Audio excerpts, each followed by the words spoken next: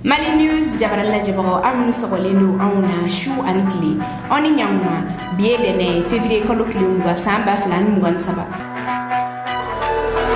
kunnafoni fɔlɔ mali burkina ani lagine hali bi u ma yamaruya sɔrɔ ka segin ka na union africaine kɔnɔna na n'an bɔra yen nɔ an bɛ taga gawo ko min y'a to sogɛli ko kala mayiga ale ma taga tagama la burɛmu ale ni an sɔngo an bɛna perepere latigɛ kɛ aw ye a ko kan an ka kunnafoniw kɔnɔna na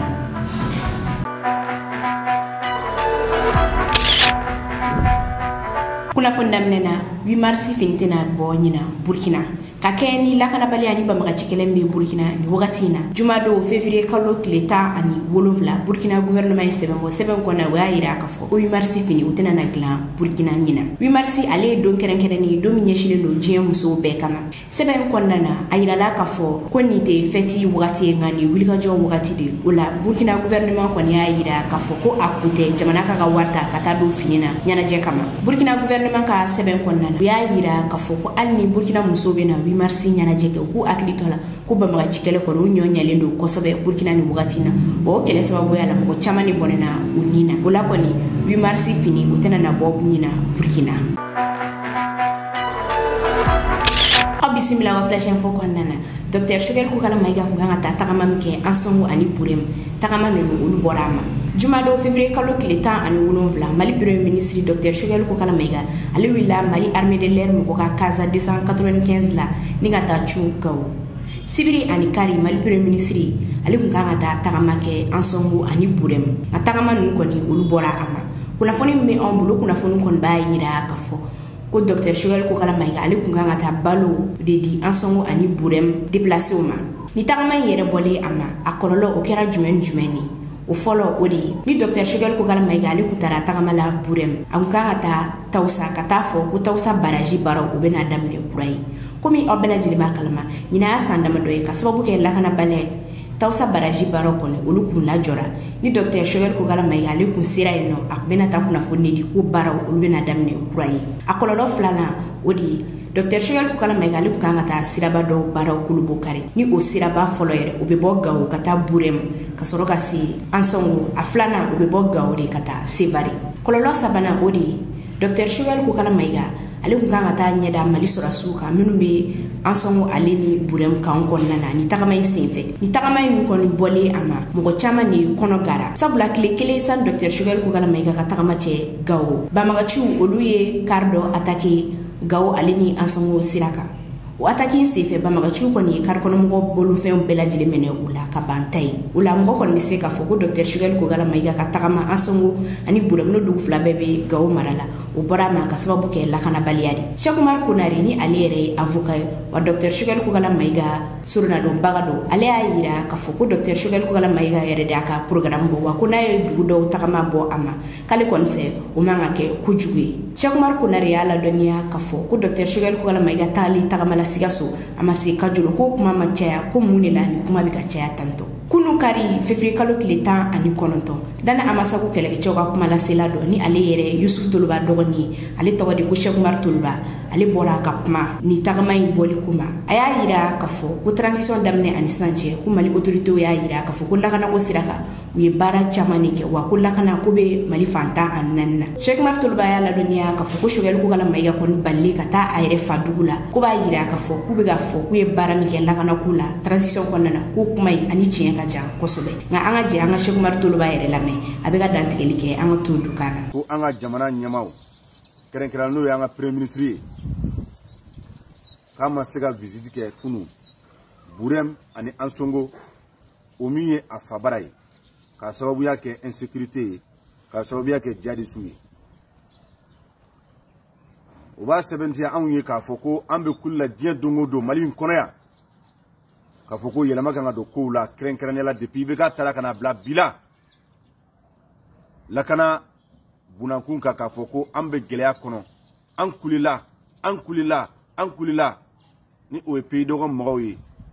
ɔ n de b'a yɛrɛ k'a fɔ ko mali fan bɛɛ de ye kelen ye insécurité in na goloki bilenmani kelen kurusi bilenmani kelen fa kelen ba kelen ɔ n'a b'o cogoya la maliyɛnw an ka ɲɛ yɛlɛ anw ye kalo wɔɔrɔ de kɛ gɛlɛya kɔnɔ an ye kalo wɔɔrɔ kɛ anbarigo kɔnɔ an ye kalo wɔɔrɔ kɛ an ni diɲɛ bɛɛ bɛ ɲɔgɔn na wa kun ma kɛ foyi ye an ka jamana ɲɛmɔgɔ ko ko k'an ka lakana bɛna k'an ta ye ko mali espace aérien n'o o ye a sanfɛla ye k'a bɛna kɛ an sagoya la mali fɔrɔncɛriw ko maa tɛ don bilen ni mali t'a kalama ko maa tɛ bɔ bilen ni mali t'a kalama ko an ka kun an ka gɛlɛya kun an ka tɔɔrɔ kun k'a bɛna k'an yɛrɛ ye mali ɲɛmɔgɔw ye journée kelen de diye ko souveraineté retrouvée journée kelen chômé payé k'an kɛra an yɛrɛ ta ye an ka premier ministre sogɛli kokala ma y'a fɔ segu maliyɛn bɛɛ ɲɛna ani diɲɛmɔgɔ bɛɛ ɲɛna ko mali sibiri kelen tɛ yen mali dugukolo la ko mali sɔrɔsiw ka sagoya tɛ yɔrɔ min na ko mali ka mara tɛ yɔrɔ min na n'a b'o cogoya la ko sogɛli de dɛsɛra ka don an sonko a b'an jɔrɔ a b'an siran dɔgɔnɔw ko ko n'i taara dugu la ka taa sɔrɔ u bɛ ka su de da k'a bugɔ ko e min ye ɲɛnɛma ye dɔ fara i sen nɔ kan komi n y'a fɔ aw ɲɛna cogoya min na dɔktɛr sugɛli ko kana mayiga tagabaliya an sɔngo ale ni borɛmu o kumaw cayara kosɛbɛ wa guvɛrɛnɛman ma sɛbɛn bɔ a ko kan nka mali premier ministre docteur choguel ko kala mayiga ale yɛrɛ bɔra ka pereperelatigɛ kɛ a ko kan a y'a yira k'a fɔ ko gawo gouverneur de ko ale kana taa an sɔngo ani burem o la ale kɔni ma sɔnifara sigi ko in kan ale y'a to yen nɔ nka an ka jɛ an ka choguel ko kala mayiga yɛrɛ lamɛn a bɛ ka dantigɛli kɛ an ka to du kan na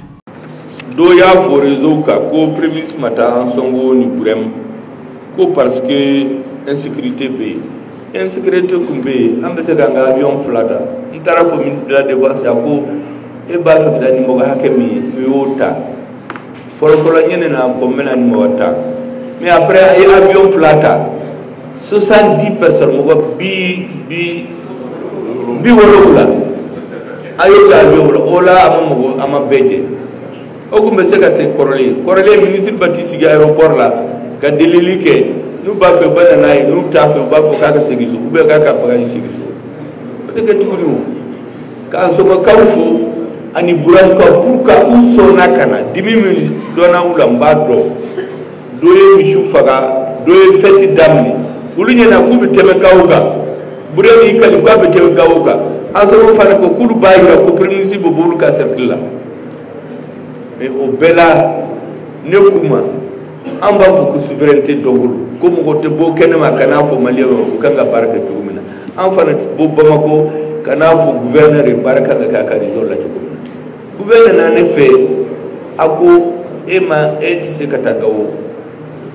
n b'a i ye décision ta aw ka to yan n bɛ n ka administre wele ka na gawo eh, an sɔngu ni burɛm ani almusaraki olu yɛrɛ bɛnna ko n ka délégation ne gouverneur y'a fo an b'a to a t'a la parce que ale de ye patron ye yan ale de ye président ye ale de ye ale de premier ministre bɛ yan ale bɛ yan n'o ka tɛmɛ an kan ni gouvernement ye décision gouverneur ye décision min ta an bɛ tugu o kɔ e dɔw bɔra yɛrɛsa ka mankan ci ko pereirisi nana budamɛ bila ɲɔgɔn na ala ni ibugden de nana filisite budamɛ dɔ ma kɛ nkalon don gawo bilaso bɛɛ i budamɛ sugu sugu i kɔrɔbɔ i filaw hali dɔ kɔnɔ u bɛɛ nana ka pereirisi na ka deli ka so yan maa bɔ minnu bɛ la a filanan dɔ ko kɛ insécurité ɛ eh, an mana an ka avion fila la o dɔ ko kɛ insécurité dɔ yɛrɛ tun b'a fɛ n k'a kɛ comme a kɛra waati dɔ la ka taa mankan ci an sɔmɔ ni gawo olu yɛrɛ ŋaniya ye min ye tiɲɛni ka kɛ yan u bɛna mankan ci an ma b'o kama o an ka gouvernement an mana baara kɛ k'a tɔgɔ ɲini a la ka mɔgɔw fili ana na ka baara kɛ ka maliyɛnw kisi de donc ni gouverneur ko ne hakili la aw kan ka to yan an b'a to gouverneur t'a la an tɛ ɲininkali k'a fɛ il n'a pas besoin de se justifier il peut s'expliquer donc n bɛ an sɔngokaw buramukaw ani alimusirakaw bɛɛ fo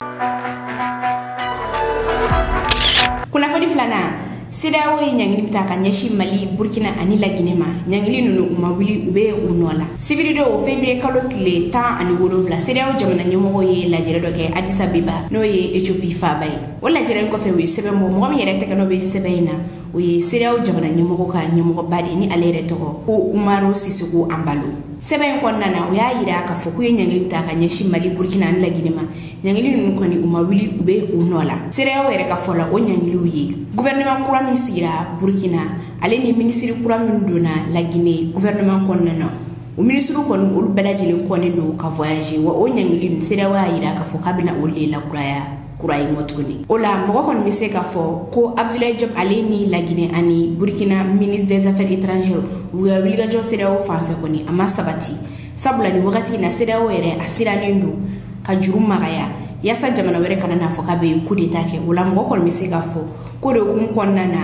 CEDEAO kɔni a bannen don k'a ka ɲangili ta ka bɔ Mali Burkina ani Lagine kan sabula kabini 2020 2021 fo ka taa se 2022 ma CEDEAO kɔni ye ɲangili ta ka ɲɛsin ni jamana saba in ma wa février kalo tile tan an kɔrɔ dɔrɔn ni jamana saba in kɔni y'a ɲini siraw ani union africaine fɛ u k'u ka ɲangiliw ta ka bɔ u kan nka siraw ka sibiri ɲɔgɔn ye kɔfɛ u y'a jira k'a fɔ ko ɲɛɲini dun kɔni olu tɛna na wuli o bɛna lakuraya yɛrɛ de fɛnɛ kunnafoni sabanan mali burkina ani lagine hali bi u ma se ka yamaruya sɔrɔ ka sen ka na union africaine kɔnɔna na ni wagati in na ni kunnafoni ale bɔra union africaine jamana ɲɛmɔgɔ ka san baara tako bi saba ani wɔɔrɔna kɔfɛ de mali burkina laginɛ ministre des affaires étrangères u kun y'a laɲini k'u ka jamanaw kɔni u kɔni union africaine na o ɲangili ka taga b'u kan yaasa u bɛ se ka segin ka na union africaine kɔnɔna na cogoya min na nka musa faki mahamad ni ale yɛrɛ union africaine na commission ɲɛmɔgɔ ye ale y'a jira k'a fɔ ko fo commission kɛrɛnkɛrɛnnen ni ko in kama ni o commission yɛrɛ tɔgɔ ko commission paix et sécurité n'o ye komisɔn ye min bɛ tali kɛ bɛn ani lakana ko kama musa faki mamadi aladɔnniya ka fɔ ko ni jamana saba n'o ye mali burkina ani lagine k'u ka dosiyew de bɛ bila ka taga di nin komisɔn ma o la u b'a lajɛ n'o ka sɔrɔ kɔnɛ ka ka bɔ union africaine kɔnɔna na walima n'u kɔnɛ man ka bɔ nka nin komisɔn yɛrɛ bɛna sigi ka baara kɛ wagati min na u m'o o wagati kɔni fɔ an filɛ nin wagati min na ko sisan nɔ ka daminɛ sibiri la ka taa se kunu kari ma union africaine jamana ɲɛmɔgɔ u ye ɲɔgɔn belebeleba kɛ adisa beba n'o ye ethiopie faba ye o kɛnɛ kan union africaine ɲɛmɔgɔya kɔni u minɛna makisal la ni k'a di comore jamanakuntigi ma nka sanni o cɛ k'a daminɛ alamisa la ka taa se juma tɛmɛnin ma minisiriw olu ye ɲɔgɔn ye dɔ kɛ o ɲɔgɔn ye kɛnɛ kan mali burkina laginɛ ministre des affaires étrangères u kɔni y'a laɲini u ka jamanaw kɔnnen don union africaine kɔnɔ u ɲangili ka ta ka bɔ u kan o kumu de kɔnɔna na ni ministre des affaires étrangères saba nunu u ni comore jamanakuntigi u n'o ye ɲɔgɔn ye dɔ kɛ o kɔfɛ u ni musa faki mamad ni ale yɛrɛ union africaine commission ɲɛmɔgɔ u n'o fana ye ɲɔgɔn dɔ kɛ ani union africaine mɔgɔba caman ni somɛ in yɛrɛ kɛnɛ kan decision belebeleba min tara o de ye ko israɛl ale gɛnna bew ka bɔ union africaine kɔnɔna na israɛl ale kun ye jamana ye jamana min kɔni kun yamaruyalen don ka ye union africaine ɲɔgɔn yew kɛnɛ kan a kun bɛ taa sigi ka jateminɛ kɛ nka a yirala k'a fɔ ko ni somɛ in kɛnɛ ka decision kɔni tara ni ka israɛl gɛn ka bɔ union africaine kɔnɔna na wa yamara tɛ a bolo a ka na i ni afirikɛni kɔnɔna na tuguni ko min yɛrɛ y'a to israɛl ale gɛnna ka bɔ i ni afirikɛni kɔnɔna na sini ni ala sɔnna a ma an bɛna walawalali kɛ aw ye a ko kan an ka kunnafoni kɔnɔna na kunnafoni na na kolonɛli asimi goyita bɛna kan bɔ mali jamanakuntigiya nɔfɛ wa walima a tɛna a kan bɔ nin kuma kɔni kelen don ka dugu minɛ nin wagati in na bi dɛnɛ fevriye kalo tile mugan isa kaw jim ale kelen don ka wele bila a kunnafonidilaw ma nka sanni o cɛ a kumana media caaman de kan a ka laseliw kɔnɔna na a y'a ladɔnniya k'a fɔ ko kolonɛl asimi goyita tɛ se k'a kan bɔ mali jamana kuntigiya nɔfɛ cogoya si de la sabula mɔgɔ minnu bɛna kalafili baaraw bɛɛ lajɛlen kɛ olu sugandira kolonɛl asimi goyita de fɛ o la isa kaw jim y'a yira k'a fɔ ko mɔgɔ tɛ se ka tribinali sigi k'a fɔ k'i yɛrɛ ka kiri bɛ ta tigɛ o tribinali kelen kɔnɔna na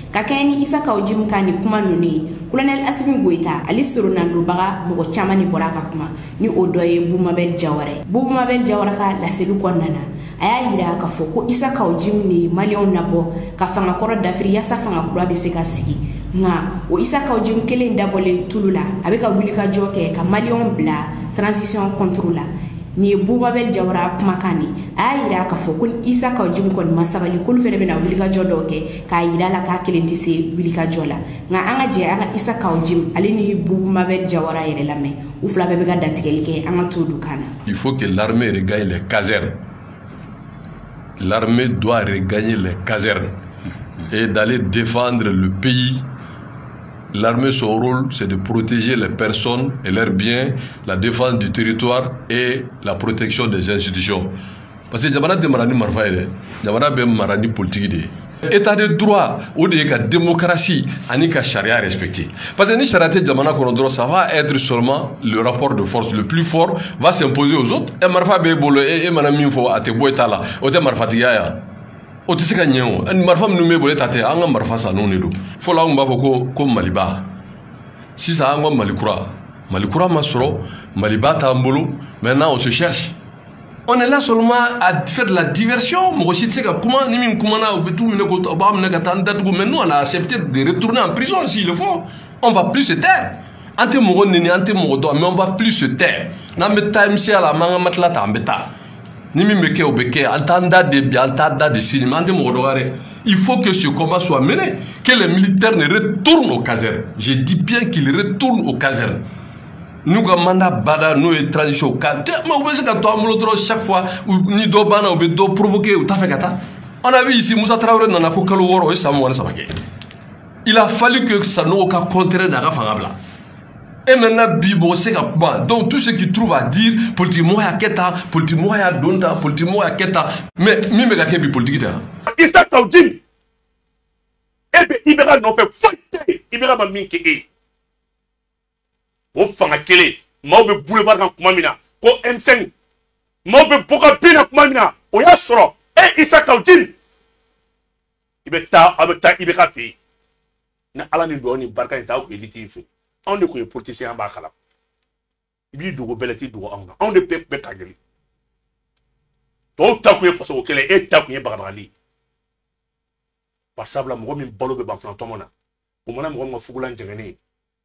o bɛ tugu o kɔ ka kɛ n'i ye taama di jamana tɛ jɔ i filila waati min na emisɛn mɔgɔw bɛ bɔ ka bin na a ye taa perese resisi lajɛ an bolo bi o transition kelen o ye ka laɲini de ye e de y'a laɲini juge ko tɛ nin commissaire ko tɛ nin polisi ko tɛ nin e ma wusa ni mɔgɔ si ye mali ko la bɔ an bɛ bɔ n'i bɔra siɲɛ kɛmɛ an bɛ bɔ siɲɛ kɛmɛ n ka tɛ tɔw ma dɛ e kelen bilahi kunnafoni duruna faransi force spéciale ka opération kuncɛra pewu ka bɔ burkina sibiridon février kalo tile tan ani seegin seremoni dɔ kɛra bila zagre kan kɔnɔna na ni o yɛrɛ bɛ wagadugu o seremoni sen fɛ faransi force spéciale olu ka drapeau jiginna ni ka burkina drapeau yɛlɛ o b'a yira k'a fɔ ko faransi force spéciale ninnu u ka opération o kun cɛra burkina cérémonie yɛrɛ kɛra kami kɔnɔna na faransi force spéciale u kun dagalen don o kan in de kɔnɔna na n'o bɛ wagadugu yen nɔ n'o ye burkina faba ye cérémonie in kɛnɛ kan faransi armée de terre nɔnabila ale tun bɛ yen nɔ ale ni letna kolonɛ la lu leka sɛ ni ale yɛrɛ ye faransi fɔsisa mɔgɔw ka nɔbila ye burukina ka bɔ ka da aw tulo kan faransi fɔsisa minnu tun bɛ oererayɔn na burukina u ka oererayɔn kɔni ale kun cɛra pewu hali an bɛ to burukina burukina hamɛ y'u ka dununw ka ja fɔlɔ jira u ye baara minnu kɛ tɛrɛn sanfɛ la u y'o ja fɔlɔ jira ni o ja taara sibiri ale ni kari don sibiridon fevriye kalo tile tan ani seegin banbagaciw ye burkina militɛriw ka unité dɔ atake rusi ale ni u de furancɛ la n'o bɛ andala mara la o ataki kɔfɛ banbagaciw kɔni u bolitɔra u bolila n'u ka su tan bɔɲango ye ka taa ni o ye u fɛ u y'u kunda kungo kɔnɔna dɔ de kan n'o yɛrɛ bɛ su min bela kɛrɛfɛla la nka kɔfɛ Burukina ha wulila n'u ka du ye du falenlen mugu jugu la ni k'u kunda bamakɔc kan o senfɛ u ye bamakɔciw kɔni bɛn kɔsɔ bamakɔciw faralen ɲɔgɔn kan du ale ye mugu jugu fili ni ka taa bi bamakɔciw kan u jeni k'u banta ye wagati in na moto tan ani fila bɔɲɔgɔnko ale ni mɔbili bikapden wolonwula olu tun ye bamakɔc ninnu bolo nka du kɔni y u bɛɛ lajɛlen jeni k'u ban ka da aw tulo kan ni ja ninnu kɔni ni y'a siɲɛ fɔlɔ de burukina hame a k'a ka du to uɛrasiɔn n'a tɛ kan k'o ja jira aw la kɔmi aw yɛrɛ ɲɛ b'a la cogoya min na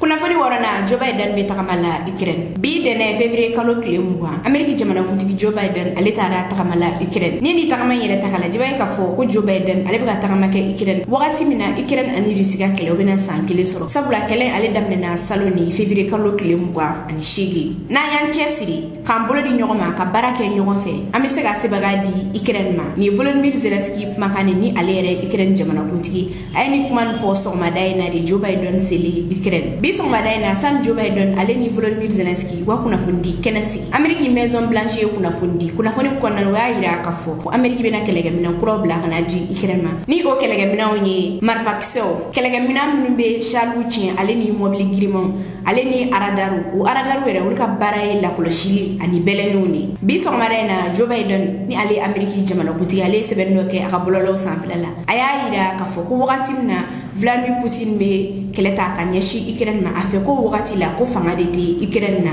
ani fɛnɛ ko occident jamanaw farafaralen don nka vladimir putin ale kɔni filila nin ye jɔba ye dɔɔni kumakan ne ka bɔ ka da aw tulo kan sini tarata fevriye kalo tile mugan ani kelen vladimir putin ni ale ye rusi jamanakuntigi a bɛna diskur dɔ kala o diskur yɛrɛ o bɛ tali kɛ ikrɛn kɛlɛ de kan ni min bɔra o diskur ko la an mali news mɔgɔw an do kunnafoni tɛ n ko aw la an ka donna na taa flasiyɛn fow kɔnɔna na ni ne kun ye aw ka bi flasiyɛn foyi ka da aw tulo kan aw ni ce aw ka lamɛnli ko ɲuman na an ka foli bɛ an lajɛbaga bɛɛ lajɛlen kɛrɛnkɛrɛnya na minnu bɛ k'a lajɛ ka bɔ itali aw k'an bɛɛ wagati wɛrɛ an pe dɔgɔ mɔgɔw an fulaw an maninkaw an mɔsiw an ka kɛ kelen ye burukina tu pɛ burukinabew ye wele bila u ka jamanadenw bɛɛ lajɛlen ma ko insécurité in ko maa si tɛ se k'a kɛlɛ ko irisi tɛ se k'a kɛlɛ ko sini tɛ se k'a kɛlɛ ameriki tɛ se k'a kɛlɛ maa si tɛna sa burukinabew ye wa an k'a bila an kun na faransi taara o faransi bɛ yan o ameriki taara o ameriki nana o irisi taara o irisi nana o maa si tɛna lakanabaliya kɛ gɛn ka bɔ an ka dugu in na ni an maliyɛnw tɛ minnu bɛ ka kule diɲɛ don o don mali arime ye nin sɔrɔ mali arime ye nin sɔrɔ an ye avion san an ma avion san nin si tɛ kɛlɛ kɛ min bɛ kɛlɛ kɛ o ye maliyɛnw yɛrɛ de min bɛ kɛlɛ kɛ o ye mali den sɛbɛw de an ka fara an ka fanga makarankan dabila an ka fanga ɲinikan dabila hɛrɛ in a bɛ ban hɛrɛ in bɛ ban min tɛ ban o de ye i ye min kɛ jamana ye o de tɛ ban i mana fɛn fɛn sɔrɔ jamana in kɔnɔ k'i to ɲɛmɔgɔya la don dɔ la i bɛ taa k'a to yan i tɛ taa ka min to yan o ye tɔgɔ ɲuman de ye asimi goyita an b'i interpellé wele bila maliyɛn bɛɛ lajɛlen ma diɲɛ don o don an kɔni hali kunu duwanza maa wɛrɛ de bɔnna nin na duwanza mara la mun na terorisiw fɛ depuis bɛ ka tagara fo kana bila bila asimi ekɔliso kelen tɛ an ka yɔrɔ la k'a fɔ k'a datugura ka sɔrɔ kɛ jalisu ye k'a dayɛlɛla a tɛ yen wa sugu tɛ yen ko maaw tun bɛ jɛ ka sugu min jɔ ko sugu belebeleba don ko jalisu kɛra sababu ye k'a sugu sira datugu k'a sira dayɛlɛla a ma kɛ fɔlɔ poste de contrôle fɛn fɛn tun bɛ an ka yɔrɔ la a bɛɛ wulila ka bɔ yen hali o donko an ka dannaw n'o y'an ka donsow ye n'o y'an jigiw ye u ye maa duuru de bɔnɛ u ni na wa u sara i b'a fɔ ko sɛw de sara hali communiqué simple a ma kɛ ka sɔrɔ u tɛ foyi la maliko la u tɛ foyi la ko maliko u tɛ foyi la ko jadisu an tɛ sɔn u ta ma wa an b'a fɔ aw ye ɲinan a fɔ ko ɲɔ ɲana ɲɔ ɲana ɲɔ ma ɲa ka sababuya kɛ lakana nana koyi ɲɔ nana de parce que ɲɔ ɲana an ka yɔrɔ la yɔrɔ min na ni sɛnɛ bɛ k'a yɔrɔ la ni jadisu ko ko bɔn a ye sɔn an ta ma a y'aw ka sɛnɛ kɛ maaw sɔrɔ u taama u ye sɛnɛ kɛ wa an ka yɔrɔ la san tan kɔfɛ an yɛrɛ bɛ ka jɔrɔ an bɛ ka siran eseke an bɛna mɔgɔ sɔrɔ mɔgɔ min bɛna lɛtiri sɛbɛn an ye wa ka d'a kan kalan tɛ yen kalan tɛ dugu min na mɔgɔ tɛ se ka avenir fɔ o dugu la kalan tɛ dugu min na maa tɛ se ka développement fɔ o dugu la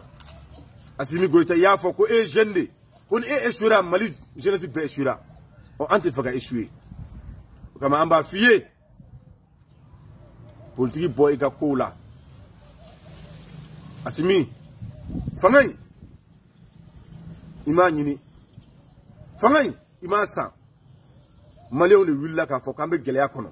maliyɛnw de wulila k'a fɔ ko politiki ko politiki mɔgɔw ma se ka jɔ u jɔyɔrɔ la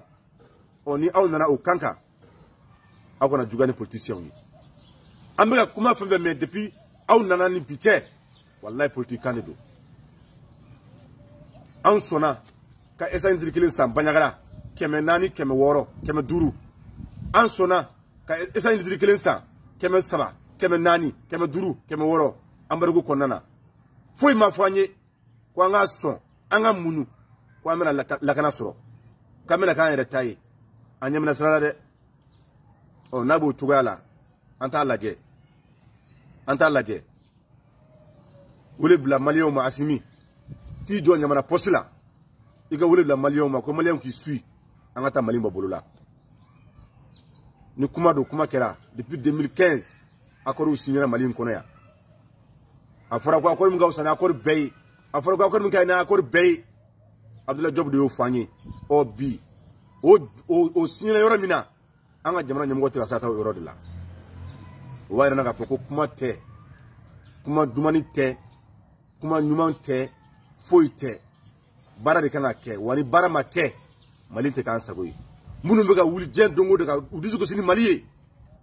n'u ye nin kuma in mɛn k'a fɔ k'an ka jamana ɲɛmɔgɔ de dɛsɛra ka don a faso la lakanabaliya bolo kan vraiment a b'u jɔrɔ a b'u siran jamana ɲɛmɔgɔw aw kuma kan ka kɛ sanu bere ye an bolo n'o tɛ sinɔn an bɛ se k'a faamuya cogo di sogɛli k'a fɔ diɲɛmɔgɔw bɛɛ ye ko mali sibiri diɲɛ kelen tɛ yen dugukolo la ko mali sɔrɔsiw ko mali arime ko o tɛ ka se k'a ka sagoya boli yɔrɔ min na o n'a fɔra ko sogɛli de bɛ se ka don an sɔnko o min y'a fa jamana ye a b'an jɔrɔ ne bɛ wele bila maliyɛnw ma kɛrɛnkɛrɛnnenya la lakanabaliya bɛ yɔrɔ min na an k'an bolo di ɲɔgɔn ma walahi n'anw yɛrɛ tɛ masi n'an ka jamana bɛ wolola ala ka hɛrɛ kɛ mali ye merci beaucoup ala ka hɛrɛ kɛ mali ye merci aw minnu mago bɛ publicité la walima aw minnu bɛ fɛ ka dɛmɛ don mali news ma aw bɛ se ka weleli kɛ nin nimero in na ni o ye bi kɔnɔntɔn ani kelen mugan ani kelen bi naani bi seegin ani naani